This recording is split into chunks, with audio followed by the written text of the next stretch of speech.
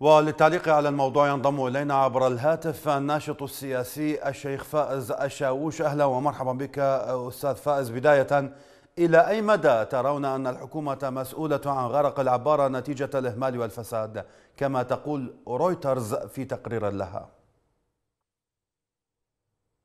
بسم الله الرحمن الرحيم. تحية لكم ولمشاهديكم الكرام.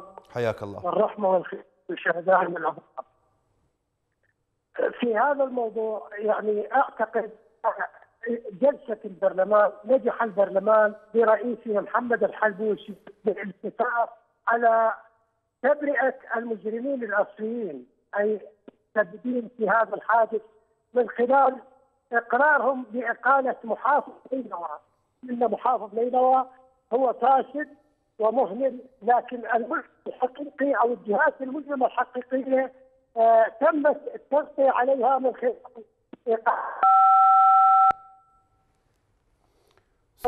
نعم. إقرار البرلمان باقالته هو ونائبيه.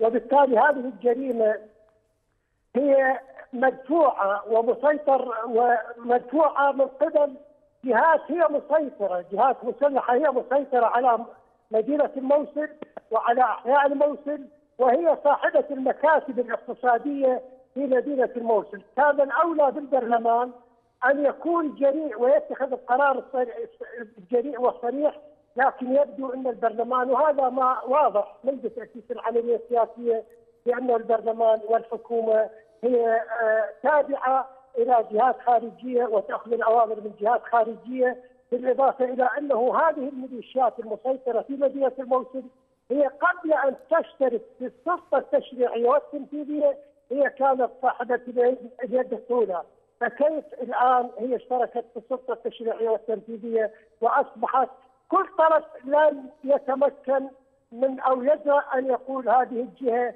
هي المجرمة أو هذه الجهة هي القاتلة أو هي هذه الجهة هي الفاعلة بالشر نعم. العراقي. كيف ترون تعاطي الحكومة مع يعني انتشال وتسليم جثث الضحايا للأهالي وإلى ما ترجعون هذا التأخير؟ لن تكون الحكومة يعني اسوه بالحكومات السابقة لن تكون جادة في هذا الملف أو في هذه الجريمة التي حصلت في الموصل بل إنما تستخدم أسلوب أو أساليب التسويق للضحك على السخنه من المتواجدين في نينوى أو في بقية أبناء العراق. الحكومة غير جاده ولو كانت جادة اتخذت القرار الصائب هي والسلطة التشريعية للبرلمان واحاله جميع المسببين بهذه الجريمة إلى القضاء واعتقالهم خلال خلال ساعة واحدة ولن يتعدى 24 ساعة. لكن لن تكون جادة الحكومة ولن تكون جادة في المستقبل في أي قضية كانت في نينوى أو غيرها. الأهالي الذين تسلموا جثث ضحاياهم يشتكون من ارتفاع كلفة الدفن. أين الحكومة من هذه الأزمة التي يعيشها أهالي الضحايا وهل باتت يعني تتكسب من مصائب الناس؟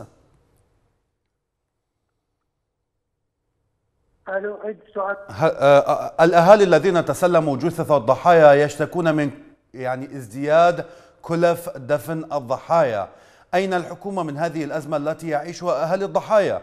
وهل باتت الحكومة تتكسب من مصائب الناس؟ يعني هو الحكومة يعني أنا أقول دائما لو الحكومة جادة لكان اتصرفت تصرف أسرع من هذا. والبارحة أنا سمعت تقرير لكثير من الشهود في مدينه في مدينة الموصل بأن حتى الذين القبور التي تحصر يطلب عليها بكل قبر 250 ألف دينار وأصبحت حتى الموتى لدى هذه الحكومة وميليشياتها هي أصبحت منفع تجاري لقبل أطراف متعددة في مدينة الموصل. الغضب يتصاعد بشكل كبير جراء الأداء الضعيف للحكومة مع الكارثة، برأيكم هل يمكن أن ينفجر الوضع في الموصل في ظل هذا الغضب المتزايد؟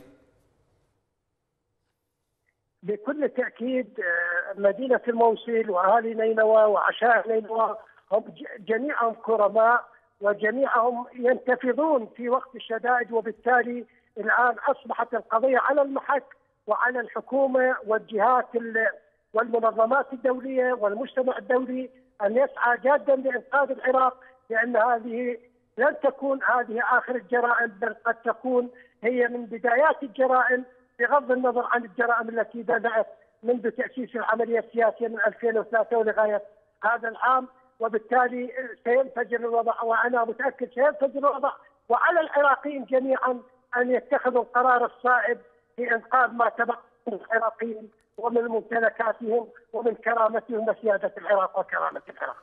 الناشط السياسي الشيخ فائز الشاوش كنت معنا عبر الهاتف شكرا جزيلا لك.